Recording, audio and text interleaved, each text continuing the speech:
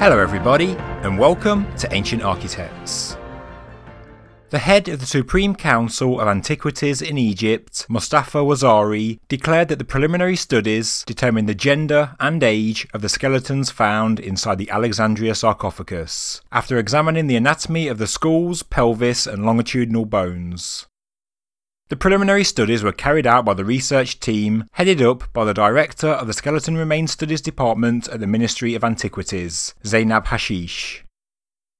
Waziri added that the team also found gold sheets within the bones of the skeletons, which are now subject to further study.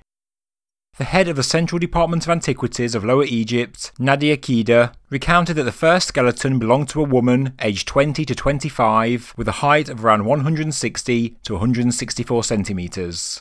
The second skeleton belonged to a man aged 35 to 39 years old with a height ranging between 160 and 165.5 centimetres while the third skeleton is for a man aged 40 to 44 years, and with a height ranging between 179 and 184.5 centimetres. She pointed out that the studies on the right bone, located at the back area of the skull, shows a round cavity of 17 centimetres wide, which reveals that the owner of this skull survived a long period with this cavity. This means that the cavity is a result of surgery.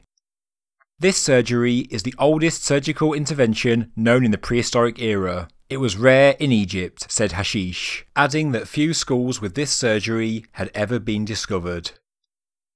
Head of the ancient Egyptian antiquities sector, Ayman Ashmawi, said that the researchers cleaned all of the remains found inside the sarcophagus and archaeologically documented all of the bones and the skulls as well as the gold sheets. He pointed out that the strange colour of the water found inside the sarcophagus came from mixing the sewage water with the remains of the skeleton's wrappings, which were decomposed by the sewage water. Ashmawi said that several analyses are carried out on the water to uncover more about its components. Waziri asserted that more research, DNA tests, and CT scans are to be carried out on the skeletons to learn more about them and to find out if the three individuals were related.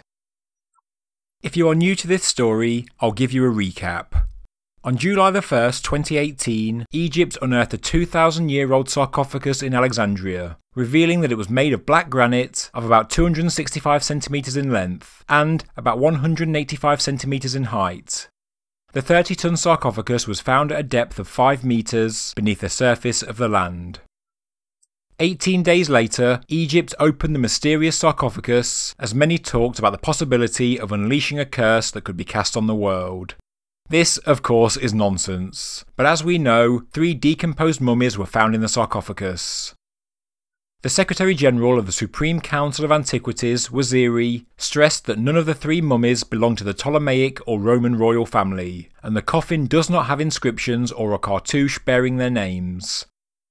He further pointed out that there was no evidence for a silver or gold metallic mask, statues, amulets, or inscriptions. None were found that could prove that the mummies were part of a royal family. Also, he denied the rumours spread by some international newspapers that opening the sarcophagus would unleash a curse that would bring disaster to the world.